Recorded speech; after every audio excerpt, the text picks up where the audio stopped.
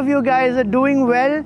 Uh, we rode to a different location today and it was raining quite a bit. Now it has stopped, the skies have cleared up.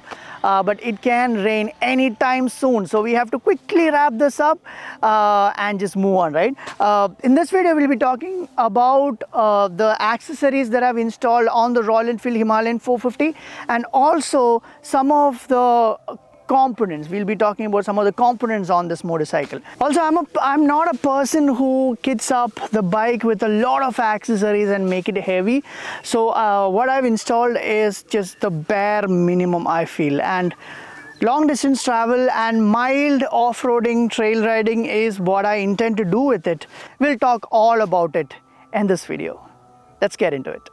So we'll start from the front of the motorcycle. Of course you can see that the bike is a little bit uh, dirty.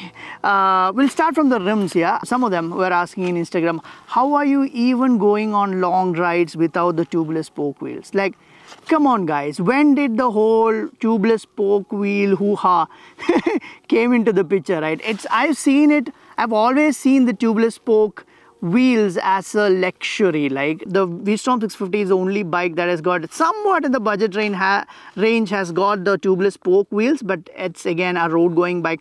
None of the big bikes like the the middleweight uh, the off-road going bikes like the T7 or you know the 890 Adventure R and all of these big bikes and all of the dirt bikes don't have they don't run tubeless spoke wheels. They all have simple spokes such as this one. And also of course having a tubeless spoke wheel is a benefit but all of these big people who are taking their smaller adventure bikes around the globe they're all rocking simple spoke wheels and they are then they fix it if they get a puncture. You can learn to fix a puncture I've installed a set of fork protectors from the brand Zana. So they uh, protect the forks in case of a slide. So that's that. And I've also got the Kriega fork seal uh, covers. I'm a huge fan of the brand Kriega. So that's that. And on top of that, you can see that the Rally windshield from Royal Enfield you don't call them rally windshield because people who go for rally, you know that, I know that, Royal Enfield knows it. They uh, usually don't, uh, you know, uh, install this taller windshield. They go for uh, shorter ones and these are definitely not short windshield. Short windshields that uh, the ones that you get with the bike, Royal Enfield knows that in, if, if they are selling it as an accessory, the shorter ones, nobody's going to buy it. That's why they've uh, uh, decided to uh, sell this as an accessory, the taller one and call it Rally windshield, weird Royal Enfield. But anyway, we had to get them for stopping the wind buffeting. It stops to an extent, but I am 5'11". It doesn't stop the wind completely for me. It, anyway, just better than the shorter one, right? And another way, a thing that I got for the bike, as you can see, is the GPS mount that is also from the brand Zana. It uh, is rock solid. I am planning to uh, buy the Peak Design uh, motorcycle handlebar mount on it uh, so that I can install the phone in, in case if I want to or my drone controller without ever having the fear of it falling off.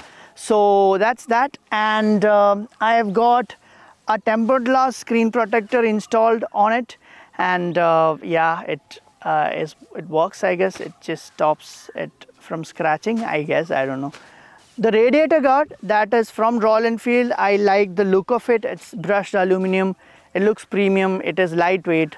So I went for it. It's at least it's a radiator guard. It's a little more expensive than the third party alternatives but it just it looks good and it weighs less. I'll go for it. Below that I've got the rally protection. If you buy the rally protection from Royal Enfield, that the one that I have installed on this bike, this is from Royal Enfield. If you're buying that, you can't install a crash protection which just sticks out a lot more and protects the body of the bike. You can't install that if you have the rally protection. But if you are not getting the rally protection, you are missing out on the bash plate that comes with it. So you can't have both you have to have either one or the other so I just decided to go with the rally protection uh, so that it can have the bash plate and also it doesn't look all that bulky.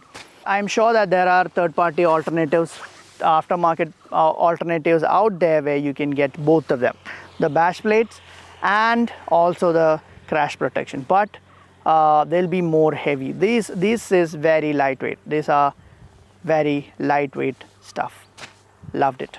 The rear brake uh, master cylinder guard, the out of the factory it doesn't come with a master cylinder guard. Oh, oh yeah it comes with it but it's plastic and it doesn't cover the whole master cylinder.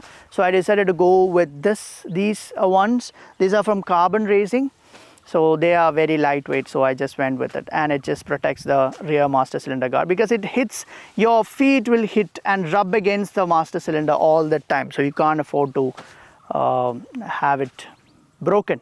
As you can see on the back side of the bike you can see the luggage rack. They are aluminum very sturdy lightweight and the build quality is just top notch. They're from Royal Enfield. It's a little expensive but uh, the quality is just top notch I am also going to get tank grips for this because if you're standing up on the bike it's very difficult to grip the tank with your knees uh, that is the reason why I decided to go for a tank grip. All of my other bikes have tank grips. So I decided to go for grip-on tank grips for this bike. Oh, we have the Zana side stand shoe, side stand extender. Very important because as it is without the side stand extender, if you put the bike on side stand, it always, you feel like it just leans a little too much and you always feel like it's gonna fall down, right? Also, the mirrors of uh, this motorcycle that comes stock uh, from the factory is just crap. On slower speed, it just does the job. But as soon as you start revving and going at higher speed, it, this just vibrates and you can't see anything, man. Moving on, the grips are fantastic. These are uh, stock OEM grips that comes with the bike. They are fantastic. They are probably the best grips that I've had I've used on these segment of bikes I feel. Uh, Barkbusters hand, hand guards is what I would like to install on this. When I mailed Barkbusters, uh, they told me that they're coming out with uh, uh, you know a product specifically for the Royal Enfield Himalayan 450 when I asked them they told me that they just got the bike in hand. So they'll it'll take some time for them to develop uh, a product just for this bike. And something else about the motorcycle are the seats man.